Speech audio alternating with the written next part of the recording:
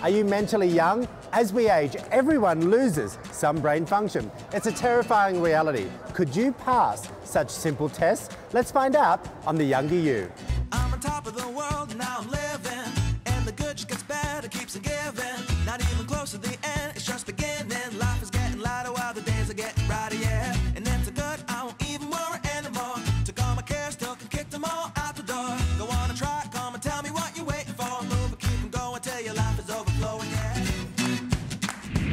Welcome to The Younger You. Today we're talking about your brain. That's right, you've heard me correctly. We're going to be hearing about what makes a brain healthy, how to test your brain's wellness, and what you can do to help that brain of yours. Let's go meet up with Dr. Joshua Redd to learn all about healthy versus unhealthy brains. Thanks, Troy. I'm here at the University of Utah to not only talk about brain health, but also show you the difference between what a healthy brain looks like and an unhealthy brain. Every person faces neurodegeneration or dementia. That means as we age, our brain stops functioning as well as it should. This even causes a noticeable shrink in size of the brain. Today, Dr. Stensaas, a professor of neurobiology and anatomy here at the University of Utah, has provided us with an opportunity to observe actual human brains. Let's go take a look.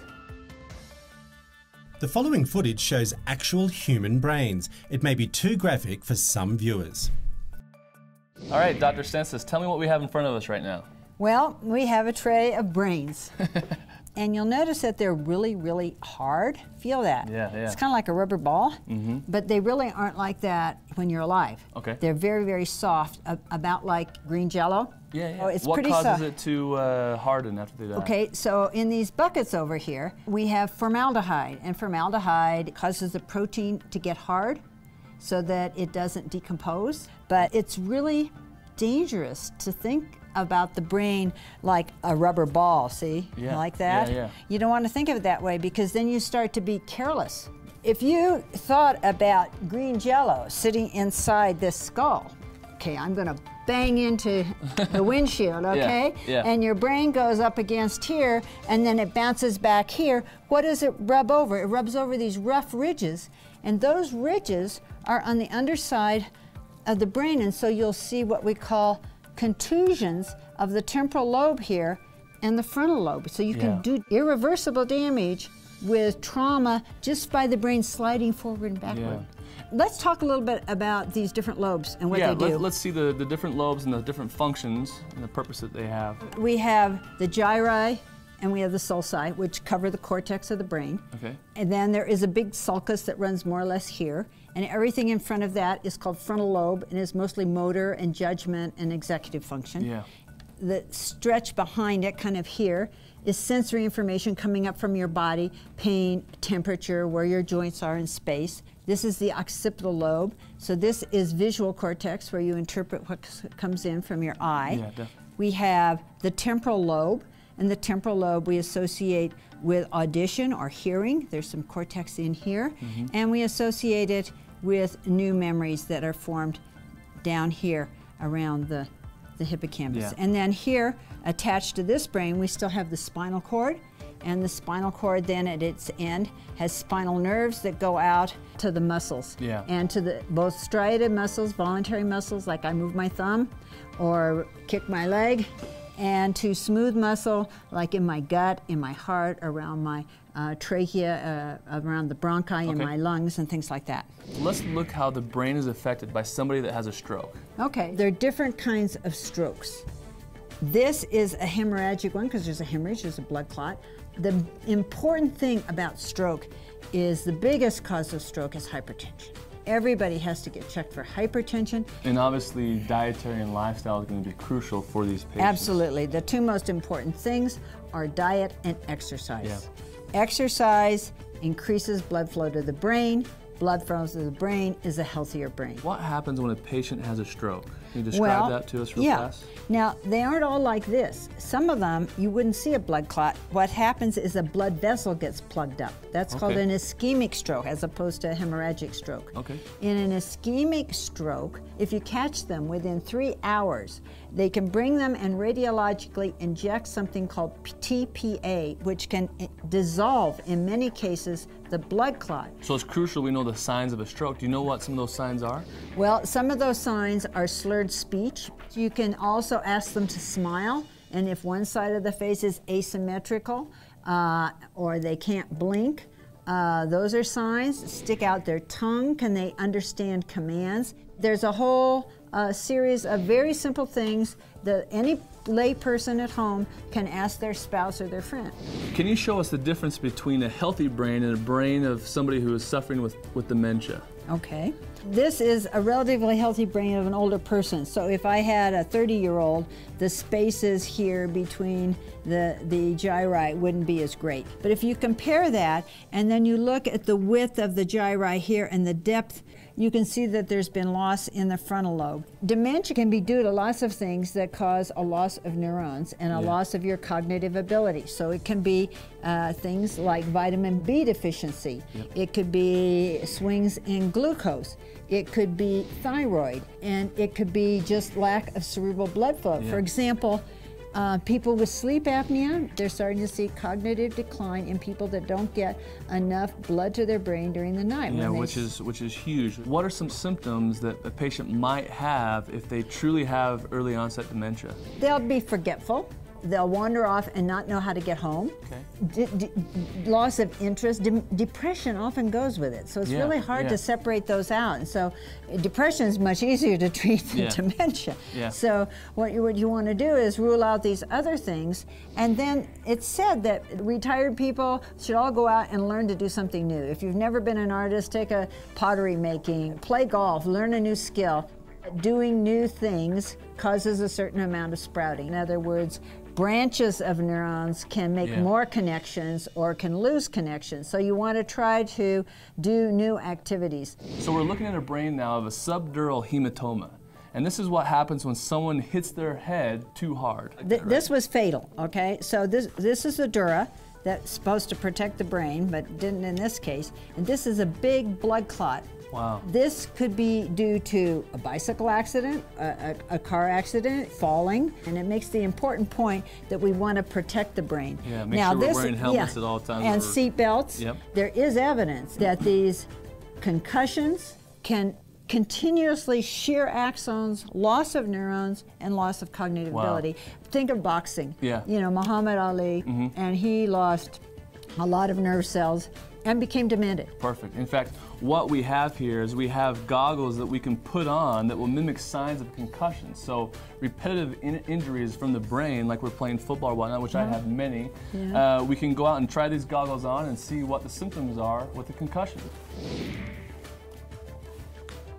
So already I'm seeing double of basically everything. Uh, things seem kind of dim here. I'm gonna try to walk in a, in a straight line. I'm, I'm kind of dizzy just standing here already as it is. I'm sure it's gonna be harder to, to do this. Wow, that is, that's crazy the differences that you see with these.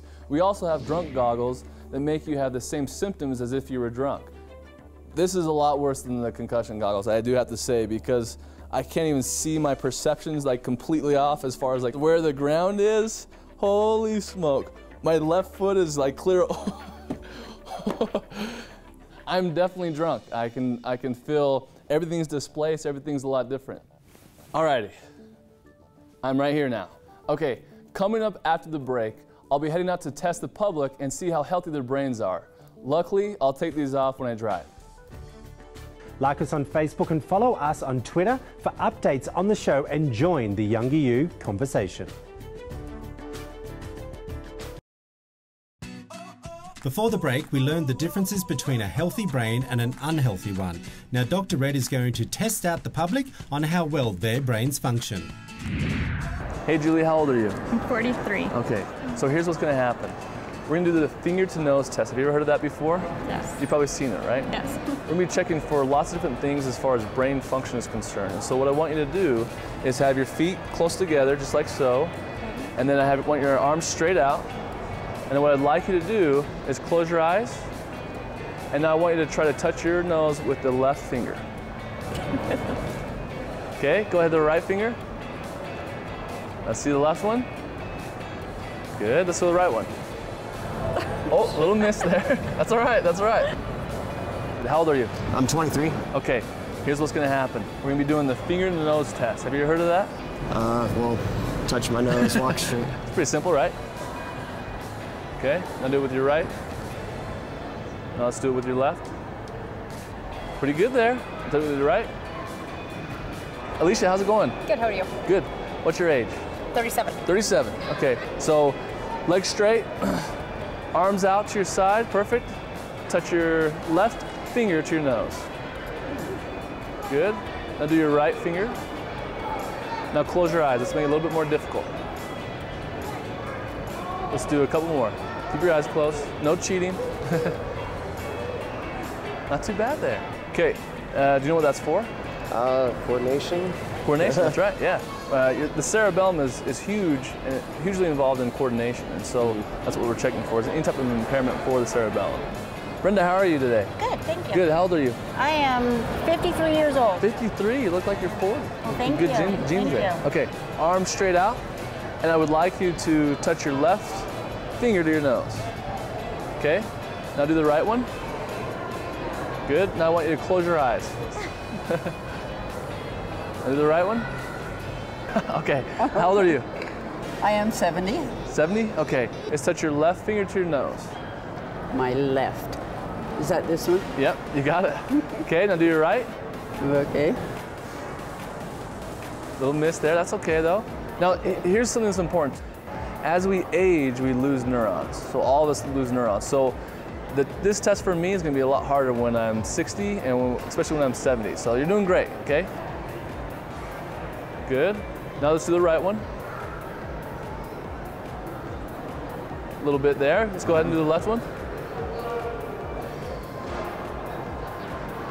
Now, what happens here is if we end up missing our nose, we're looking for a parietal uh, problem with the brain. Okay, we have something called the parietal cortex. And whenever we miss our nose, that suggests that we might have some impairment on the parietal side, of the opposite side. So if we do the right side we missed, we might have some impairment on the left side. But you did pretty good most of the time, so I think you passed. Good. The tests I'm showing today are used to detect dysfunction in your cerebellum. The cerebellum is located at the back of the brain. It controls coordination, motor skills, balance, and posture. The cerebellum is important for making adjustments in order to maintain balance. It also communicates between all of your muscle groups to coordinate the timing of your movements. A few things that can damage the connection between the cerebellum and your muscles include head trauma, stroke, inflammatory diseases, and something as simple as a gluten intolerance. This next test, what we're going to do is called a tandem Romberg's test, okay? Okay. This is what happens. We'll be looking for cerebellum dysfunction, but I want you to have your hands down to your side like so, and I want you to put your right foot right in front of your left foot, Okay. okay? Perfect. Now, let's look straight ahead. oh, because we haven't got the hard part yet. I'm gonna have you close your eyes and we'll get to the hard part. Okay. Good. Now, if we see any type of swaying, keep your eyes closed. Put your right leg in front of your left, heel to toe fashion. Okay. Now I want you to close your eyes. Okay? Yeah. And if we're seeing any type of swaying one side to the other, we're, we're going to basically be having impairment to that side of the cerebellum. And you're doing pretty good there. Thank you. You can check for balance and coordination and things like that there too. Okay, now I want you to, yeah, already having some problems. Yeah. Okay, I want you to close your eyes and then try to balance. It's hard. Keep going, you're doing good. Oh, Left leg just wants to go. put w- your right foot in front of your left in a heel to toe fashion, and I want you to close your eyes. Ooh, Keep them closed. that's hard. Interesting, yeah. It is. What's going on with you there? I don't know. Which side are we swaying to? Mostly the left side. Left side, right? Yeah. Okay.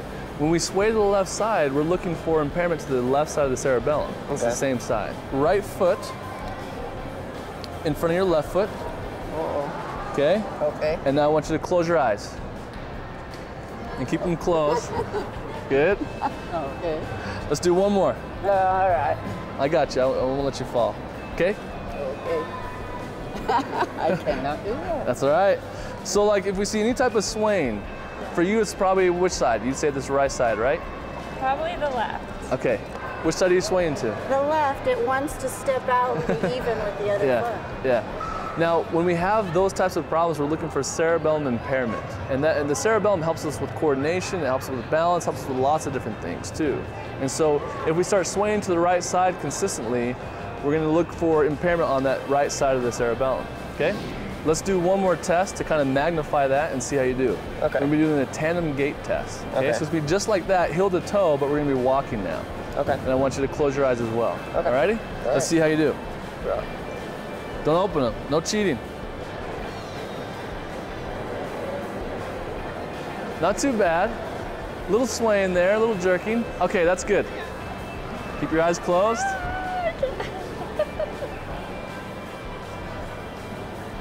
Not doing too bad there, not doing too bad. And I want you to walk 10 steps, Okay. okay? But now I want you to close your eyes while we do that. I'm gonna make it a little bit more difficult for you. Okay, go ahead. Good. Let's try some more. Let's try some more. Now keep your eyes closed and try to do it. Go ahead.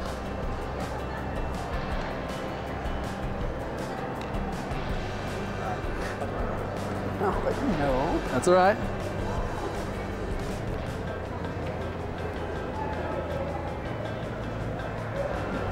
Okay, okay, we're good. Oh. All right, come on back, come on back. So how do you think you did with those tests? Not so good. Do you do anything at home as far as crossword puzzles or as far as dietary things to maybe decrease inflammatory issues? Or do you do anything at home that might help with brain function? I do. I like puzzles. Do you like puzzles? I do. Good. So how'd you feel about that? It's it's like you're drunk or something. When we're really off balance, that's called ataxia, okay? 70% of people with ataxia is caused by one food. Guess what that food is? Sugar. Gluten. Gluten. Yeah. Gluten's bad. Yeah. Another big thing, and uh, probably a superfood that helps decrease inflammation is called turmeric. Have you heard of that? Or I think I have. It's familiar. Yeah. Uh, you can get turmeric powder and you can put that on chicken and Oh, okay. vegetables and all Yeah. that stuff. That helps kind of decrease inflammation and, and helps with uh, brain function as well and proper blood flows. One of the biggest things we want to do to help with brain function, and cerebellum function, is to get to our target heart rate. So even if we exercise, but we're not getting to our target heart rate, that could be a big problem. Okay, so doing intense exercise is huge.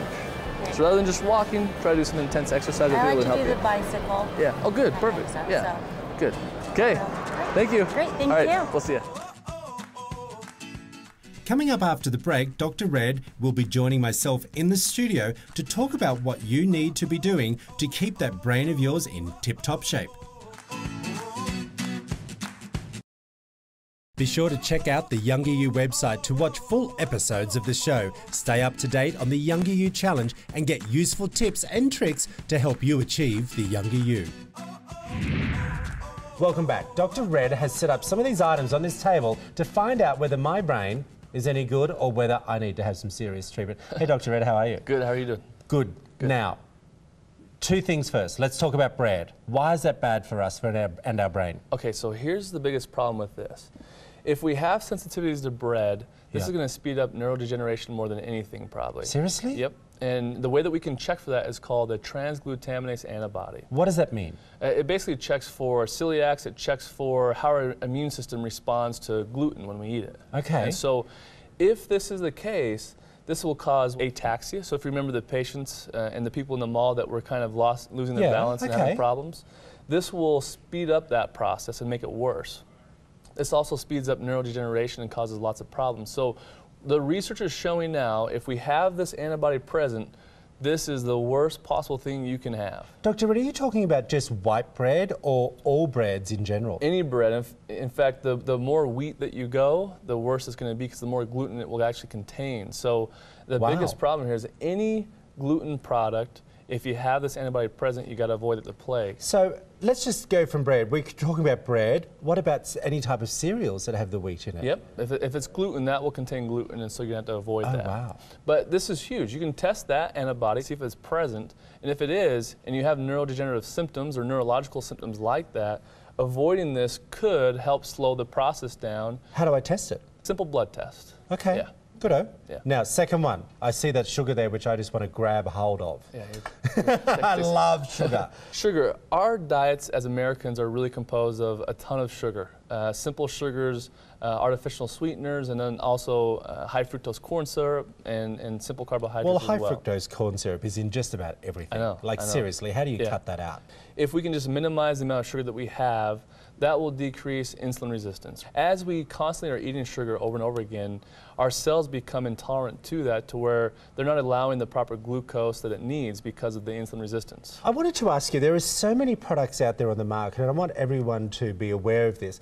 When they say natural sweeteners, what's the difference between a natural sweetener and an artificial sweetener? Okay, so an artificial sweetener is where they've actually went in and genetically modified or chemically changed a structure to make it sweet. So it's not even like a real sweetener. When they're saying natural sweeteners, it's from a product that allows your food to be sweet or from a natural product, like Okay. a different type of fruit or different Okay, I understand that. nutritional So, are you saying cut them out as well?